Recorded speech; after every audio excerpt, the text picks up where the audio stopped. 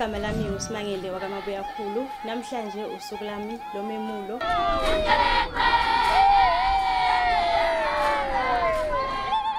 Omama nomalume bethi babethe eh, ngoba ngiphathe kahle ngibahloniphile kwaze kwafika lesi sikhathi bacela ukungenzela lo mcimbi ngendlela kuyinhloso yokuthi bayabonga.